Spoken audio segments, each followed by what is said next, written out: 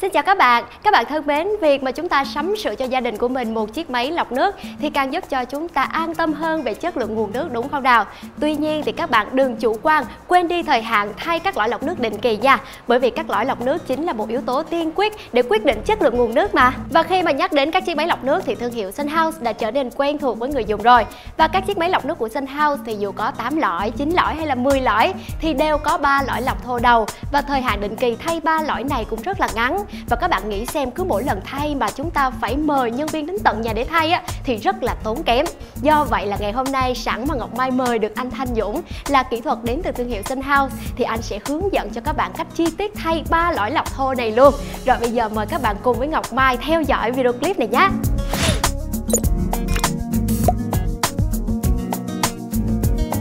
Bạn chúng ta đã biết đến việc là đến thời hạn thì chúng ta phải thay lõi lọc nước. Thế nhưng mà anh Dũng ơi rất là ít người biết cái việc là vì sao chúng ta phải thay lõi lọc nước đó Cho nên là anh có thể hướng dẫn cho các bạn biết là vì sao chúng ta phải thay lõi không anh?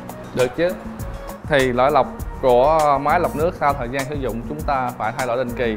Nếu không thay theo định kỳ thì máy sẽ xuất hiện các hiện tượng như là máy bị kêu, kêu à, to, dạ. nước lọc ra chậm, nước nước thải nhiều và nặng nhất là sẽ ảnh hưởng đến uh, dẫn đến tắc nghẽn lõi lọc số 4 dạ. là màng lọc RO á và có thể ảnh hưởng đến chất lượng nước đầu ra và sức khỏe của người tiêu dùng. Dạ vâng các bạn ơi, khi mà nhắc đến cái việc là ảnh hưởng đến sức khỏe luôn thì Ngọc Mai cảm thấy nó rất là nghiêm trọng rồi. Thôi bây giờ không để mất thêm thời gian của các bạn nữa thì Ngọc Mai sẽ nhờ anh Dũng tiến hành hướng dẫn chi tiết về cách thay lõi lọc nước như thế nào luôn nha ạ. Đúng.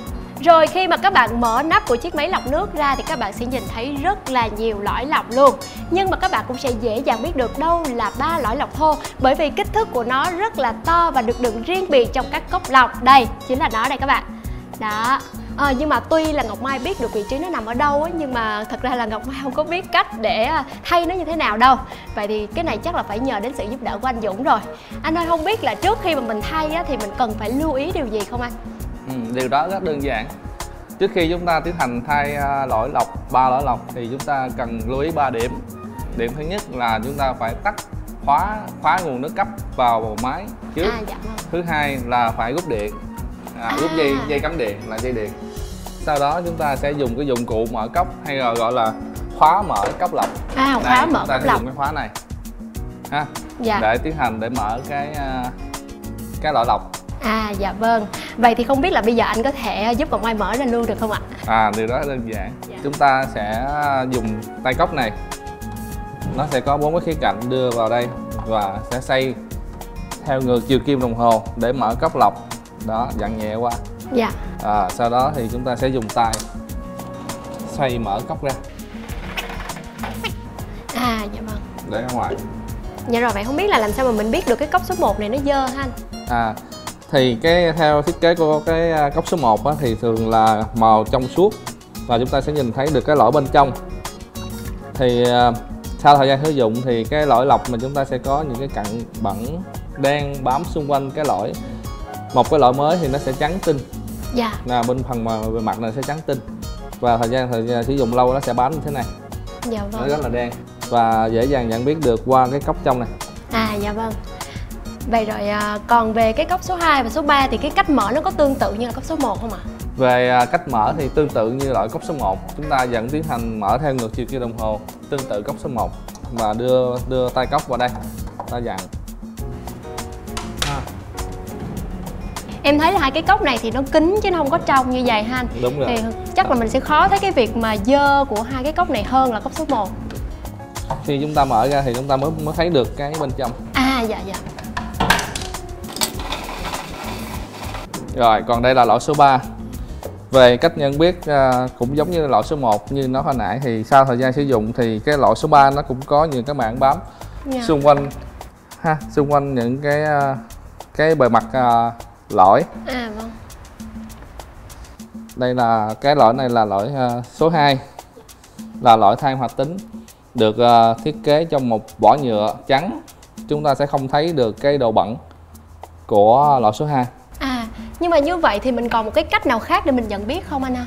Có một cách rất đơn giản là theo cái ngày tháng sử dụng và thay lõi định kỳ có bên sinh ha thì theo thời gian sử dụng từ lúc mà khách hàng sử dụng đến lúc thay thì cái lõi này nó sẽ có thời gian là định kỳ thay là 3 tháng một lần À là lõi 1 là 3 tháng. đúng rồi 3 tháng một Dạ. lần tính từ lúc mà khách hàng sử dụng đó là loại số 1 là 3 tháng ha và thời gian định kỳ thay loại số 2 là 6 tháng Dạ. 6 tháng thay một lần và thời gian định kỳ thay loại số 3 là 9 tháng 9 Dạ. tháng thay một lần nhưng mà thời gian thay loại có thể thay đổi tùy thuộc vào cái à, nguồn nước cấp của mình À. sạch hay là sử dụng nhiều rồi và ngày hôm nay thì Ngọc Mai đã có chuẩn bị sẵn 3 lõi lọc nước mới để nhờ anh Dũng thay luôn đây.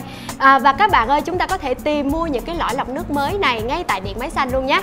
Nhưng mà có một điều các bạn lưu ý là nếu như mà các bạn xài máy lọc nước của hãng Sun House Thì cũng nên mua lõi lọc nước của cùng hãng luôn Để cho đúng với kích thước, đúng với thiết kế tránh cho việc là bị rò rỉ nước nè. Và trở lại với những cái lõi lọc nước mới đang ở trên tay Ngọc Mai Thì thật sự là khi mà nhìn vô Ngọc Mai thấy hai cái lõi rất là giống nhau. Và không biết cách làm sao mà phân biệt được hết. Thì chắc cái này phải nhờ anh Dũng Không biết là anh có thể chỉ ra đâu là lõi 1 Đâu là lõi 2 mà đâu là lõi 3 được không ạ? ok mai điều đó đơn giản mà. À dạ. Rồi. Đầu tiên thì anh sẽ giới thiệu về cách nhận biết loại số 1 trước. Dạ. Thì theo thiết kế thì loại số 1 chúng ta sẽ có kích thước lõi lọc là 5 micro. 5 micro. À, được làm bằng sợi BB trên bề mặt lõi là trơn bóng. Trơn bóng. Trơn à, bóng nè thấy không? Dạ. Trơn bóng và Ừ. kích thước là 5 ha. Đây và thời gian thay là 3 tháng 6 tháng ha. Dạ. Rồi cái à, loại số 2 thì nhìn vô là chúng ta sẽ phân biệt được liền. Đây là lõi than hoạt tính được đựng trong một vỏ nhựa là lõi lớn nhất trong ba lõi chúng ta sẽ phân biệt được đây là lõi số 2 và lõi số 3 về hình dạng thì rất là giống lõi số 1 Dạ. Nhưng có thiết kế khác hơn là kích thước lõi lọc là một micron. À một micro cũng làm được bằng sợi BB Dạ. Nhưng bề mặt thì sẽ có những cái à, vòng tròn màu vàng. À. Nó vàng nó khác hơn loại số 1 là trơn. Đúng không thì đây là loại số 3 kích thước là một micron dạ vâng. Đây là loại ba loại lọc 1, 2 và 3 Chà như vậy là em nghe anh Dũng ờ, lưu ý về cái vấn đề vị trí của lõi lọc vô đúng cốc lọc thì em thấy rất là quan trọng. Và các bạn ơi mình cũng nên lưu ý kỹ điều này nha. Còn bây giờ thì chắc là nhờ anh Dũng chúng ta tiến hành chi tiết luôn để cho các bạn được biết đi ạ. Được rồi. Dạ. Thì chúng ta sẽ tiến hành lấy loại số 1 ra khỏi cốc ha Dạ đúng rồi đây À, tức là mình sẽ lần lượt bỏ hết những cái lõi dơ Đúng vào rồi. trong thau và đổ luôn cả cái nước thừa ra đúng không anh? đúng rồi À các bạn ơi như vậy thì khi mà mình tiến hành thay đó các bạn cũng nên lưu ý là chuẩn bị một cái thau giống như là Mai với anh Dũng đang làm á để mình có thể đựng lõi dơ ngay luôn. và có một điểm lưu ý ha hồi nãy chúng ta có điểm lưu ý trước khi mà đổ qua cốc á trên Dạ. mọi cốc chúng ta là có một cái ron cái ron cái ron chặn nước nè ron cao su như dạ. thế này thì chúng ta tránh làm rơi hay là mất Ừ, mất à, cái ron này vì khi mất cái ron này chúng ta lắp lại vị trí cho cốc á dạ, nó sẽ bị chảy nước ra À. ảnh hưởng đến máy dạ vâng. cho nên mình nhớ kỹ cái vị trí của cái ron này Dạ. rồi tiếp theo chúng ta sẽ tiến hành là cha cha lõi vào à, phần cốc À dạ rồi.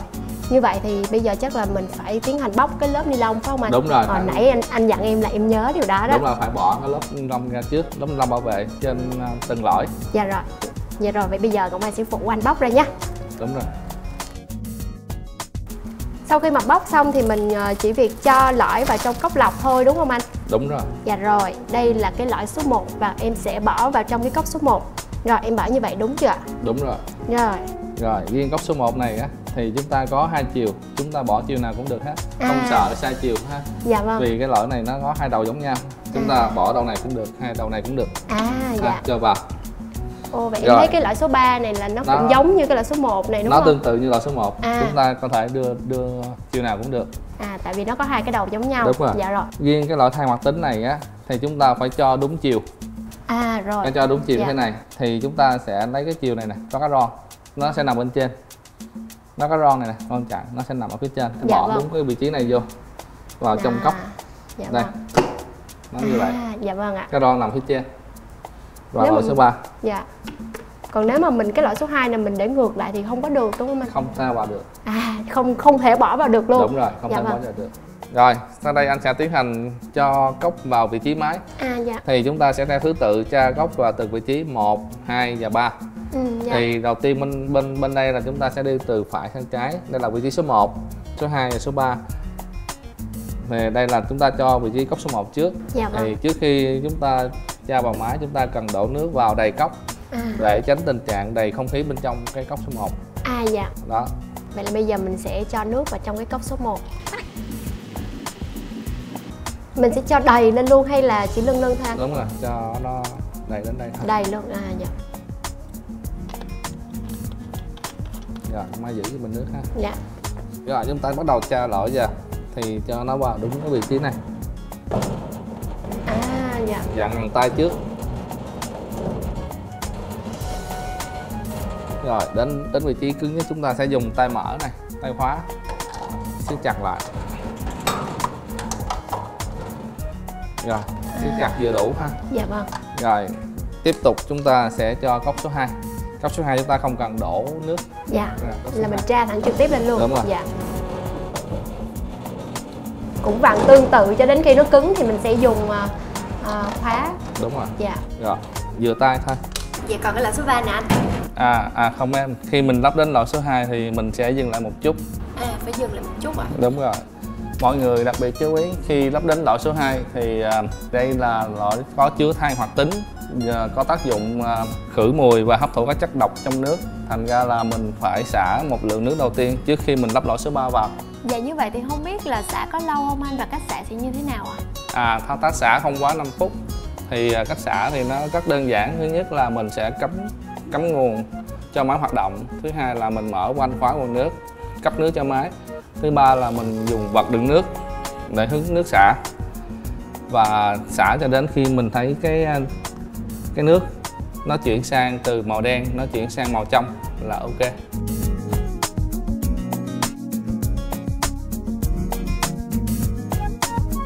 À sau khi mình mình xả xong thì mình sẽ um, lặp lại như bước đầu tiên là mình rút dây điện và khóa lại quanh nguồn nước.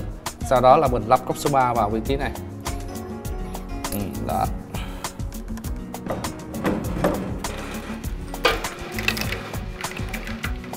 Rồi chúng ta đã tiến hành xong cái quá trình tra cốc vào vị trí máy À vâng, em thấy rất là đơn giản luôn á anh Dũng. Ủa dạ vậy như vậy là xong rồi đó ha anh? đúng rồi À như vậy là chúng ta có thể cấp lại quanh nước nguồn và cắm phích điện cho máy hoạt động bình thường Wow, như vậy là chỉ với vài bước đơn giản thôi là chúng ta đã có thể tự tiến hành thay lõi lọc thô ngay tại nhà của mình rồi các bạn ơi. Và các bạn có thể lưu ý những bước này để có thể đảm bảo được chất lượng nguồn nước cho gia đình của mình nhé. Và ngày hôm nay thì Ngọc Mai cũng rất là cảm ơn anh Dũng đã dành thời gian đến đây chia sẻ cho Ngọc Mai cũng như là các bạn biết đến một thông tin thật là hữu ích. Còn bây giờ thì trước khi mà kết thúc video clip mời các bạn cùng xem lại những lưu ý khi mà chúng ta tiến hành thay lõi lọc thôi nhé. Ngọc Mai và anh Dũng xin chào tạm biệt và hẹn gặp lại.